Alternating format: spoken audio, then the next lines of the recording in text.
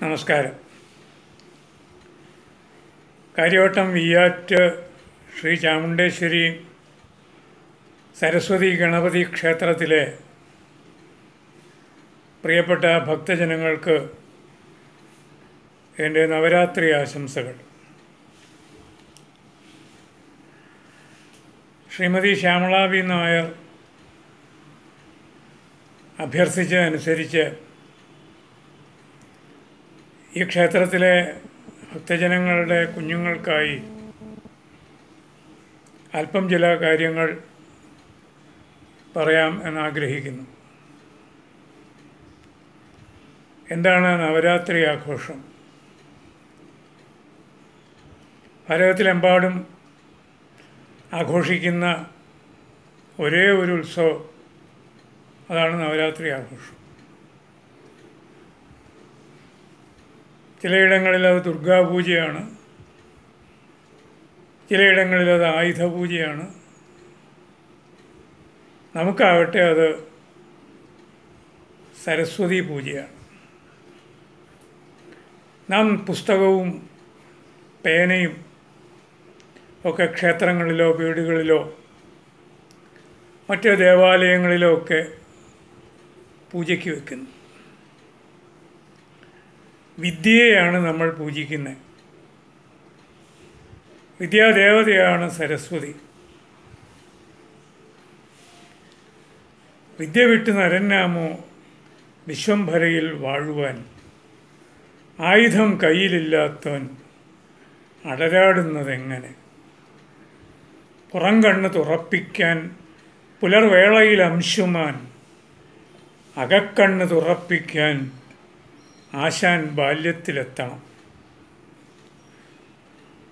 ബാല്യത്തിൽ നമുക്ക് ഗുരുക്കന്മാരുടെ സഹായത്തോടു കൂടി മാത്രമേ അറിവ് സമ്പാദിക്കാൻ കഴിയുകയുള്ളൂ. അമ്മയും അച്ഛനും ഗുരുവും കഴിഞ്ഞാൽ ഈശ്വരന്. മാതാപിതാ ഗുരുർ ദൈവം ഇതാണ് നമ്മുടെ ഭാരതീയ സങ്കല്പം. അപ്പോൾ ഗുരുവിൽ നിന്ന് വിദ്യ അക്ഷരവിദ്യ സമ്പാദിക്കുന്ന സുദിനമാണ് വിജയദശമി. ഒമ്പത് ദിവസം നവരാത്രി എന്ന് പറഞ്ഞാൽ ഒമ്പത് ദിവസം. ഒമ്പത് ദിവസം കഴിഞ്ഞാൽ പത്താമത്തെ ദിവസമാണ് വിജയദശമി. രാവണനെ രാമൻ നിഗ്രഹിച്ചത് വിജയദശമി നാളിലാണ് എന്ന് പറയുന്നു. ഇരുട്ടിൽ നിന്ന് വെളിച്ചത്തിലേക്ക്. അജ്ഞാനതിമിരാന്ധസ്യ ജ്ഞാനാഞ്ജനശലാകയ ചക്ഷുരന്മീലിതം യേന തസ്മൈ ശ്രീ ഗുരവേ നമ. ഇരുട്ടിൽ നിന്ന് വെളിച്ചത്തിലേക്ക് നമ്മെ കരകയറ്റുന്ന. അറിവില്ലായ്മയുടെ അജ്ഞതയിൽ അല്ലെങ്കിൽ അജ്ഞതയുടെ അന്ധകാരത്തിൽ നിന്ന് അറിവിന്റെ ജ്ഞാനത്തിന്റെ വെളിച്ചത്തിലേക്ക് നമ്മെ കൈപിടിച്ചു കൊണ്ടുപോകുന്ന ആളാണ് ഗുരുനാഥൻ. ഗുരുനാഥൻ തുണ ചെയ്യുക സന്തതം തിരുനാമങ്ങൾ നാവിന്മേലെപ്പോഴും.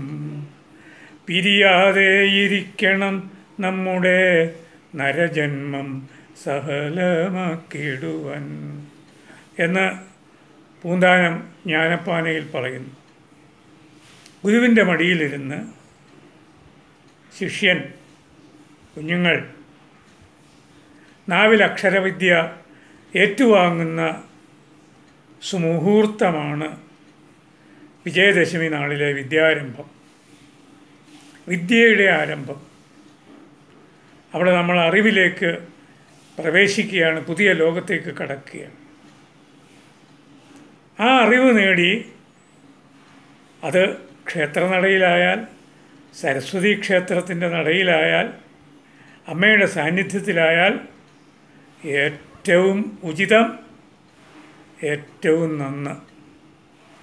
നാസ്തി മാതൃ സമാച്ഛായ നാസ്തി സമാഗതി. നാസ്തി മാതൃ സമം ത്രാണം നാസ്തി സമാപ്രിയ. അതായത് അമ്മയെപ്പോലൊരു തണലോ അമ്മയെപ്പോലൊരു രക്ഷയോ അമ്മയെപ്പോലൊരു വഴിയോ അമ്മയെപ്പോലെ പ്രിയപ്പെട്ടവളോ ഇല്ല.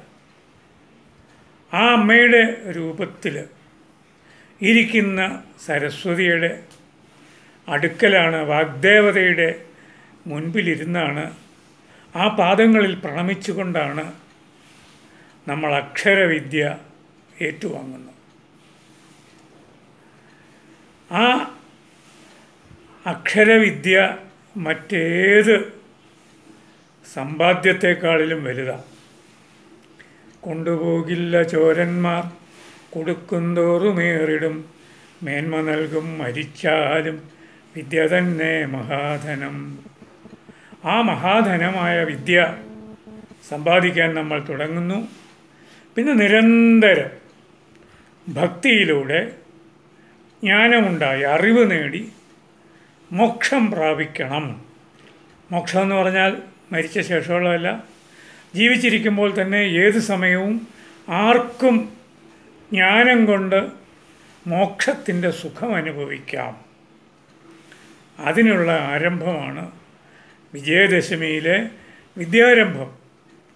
നേരത്തെ നമ്മൾ വിദ്യാരംഭം കുറിച്ചവരും ഇന്നേ ദിവസം സരസ്വതിയുടെ നടയിൽ വന്ന് നമസ്കരിച്ച് അക്ഷരം എഴുതി വായിച്ച് പഠിക്കുന്നു.